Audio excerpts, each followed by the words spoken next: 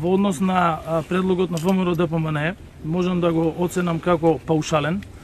Предлог кој што е даден само заради тоа ВМРО да покаже дека учествува во овој процес, меѓутоа кој не се базира на никаква методологија и на никакви анализи. И спротивно на тоа, како што веќе кажав, ние веќе работиме на методологија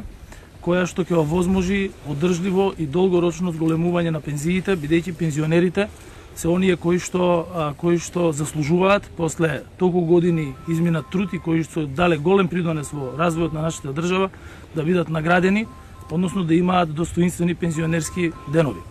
А, во однос на поддршката која што досега ја имавме, ние и во текот на 2021 година имавме а, поддршка за ранливите а, категории на граѓани, каде што спаѓаат и пензионерите со ниски примања, а денеска можам да најавам дека во светло на а, енергетската криза и во светло на економската криза предизвикана од енергетската криза,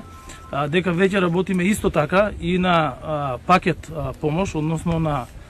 финансиска помош за пензионерите, која што ќе која што ќе ја определиме врз основа на анализи и која што ќе им биде дадена на пензионерите за полесно справување со енергетската и со економската криза.